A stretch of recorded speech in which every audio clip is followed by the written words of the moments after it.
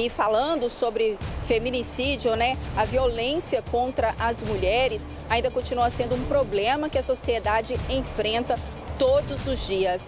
A, a, o Departamento de Polícia Civil aqui de Ipatinga fez um levantamento e, ao contrário do que a gente percebe em todo o Brasil, o índice de feminicídio na região do Vale do Aço diminuiu. Mas, apesar dos números terem caído, há muito que se fazer ainda para que ocorrências dessa natureza não voltem a se repetir.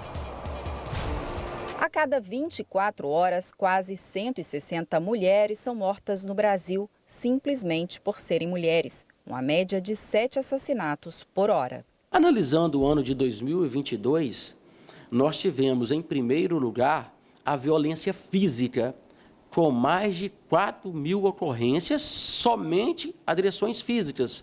Ou seja, violência, ah, aquela violência propriamente dita, ou também aquela ofensa à saúde de outrem, seguida pela violência psicológica e depois a violência patrimonial. Os assassinos muitas vezes são os companheiros que não aceitam o fim do relacionamento e costumam ter um perfil violento.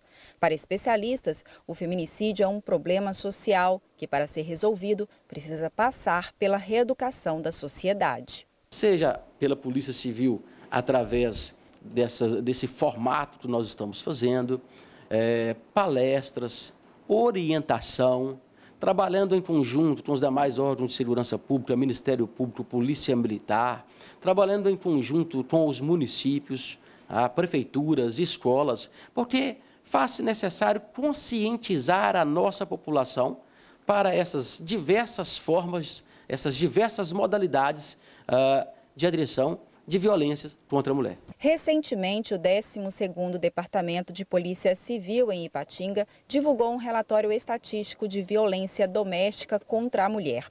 De acordo com o levantamento, em 2022, mais de 11 mil mulheres foram vítimas de violência doméstica em toda a área do departamento. O número é 4% menor que o registrado em 2021, quando quase 12 mil mulheres foram vítimas nós não temos nada a comemorar, visto que, em que pese notarmos uma pequena diminuição em relação aos números de 2022 e 2021, os números ainda são altos.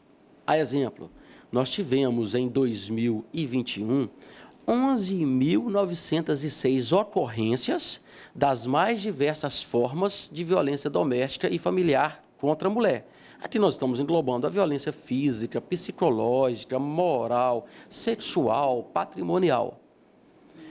E em 2022 nós tivemos 11.406. Então nós tivemos aqui um decréscimo de aproximadamente 4%, 500 ocorrências. Não se pode comemorar, visto que esse número ainda é elevado. No Vale do Aço, Ipaba é a cidade que aparece com a maior taxa de violência. Para cada grupo de mil mulheres, 17 foram vítimas. Já a menor taxa ficou com o município de Joanésia. Para cada grupo de mil mulheres, duas foram vítimas de algum tipo de violência doméstica. No recorte da pesquisa, mostra que o índice de violência doméstica diminuiu em Ipatinga. Em 2021, para cada grupo de 100 mil mulheres, foram registrados 15 casos. No ano passado, foram 12 para o mesmo grupo.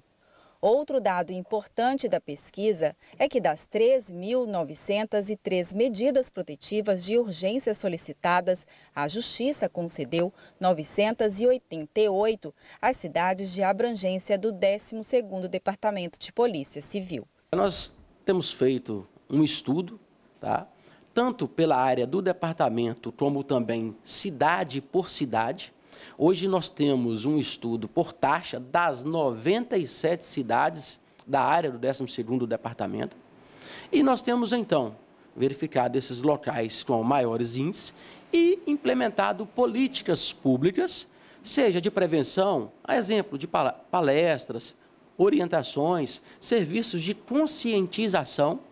Só para se ter uma ideia, Nesse mês de março até agora, já fizemos 35 palestras dentro da área do 12º Departamento. É que a gente vai mostrando aqui no dia a dia, no dia a dia, essa violência contra a mulher. A impressão que a gente tem é que está crescente, né? Mas aí o profissional da segurança pública está dizendo que houve, então, queda nos crimes contra a mulher no Vale do Aço, né? É o que levanta a Polícia Civil, né? Informação, os dados são da Polícia Civil. É uma impressão que a gente fica aqui é de que é, há um aumento né, nessa violência, né?